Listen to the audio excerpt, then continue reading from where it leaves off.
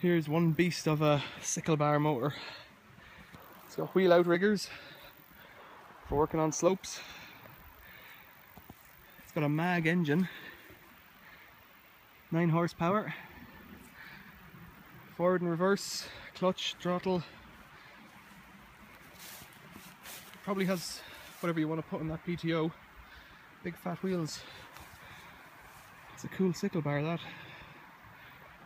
To have done this whole field.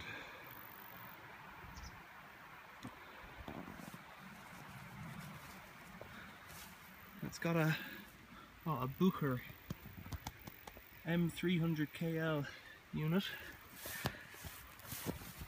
It's got serrated teeth.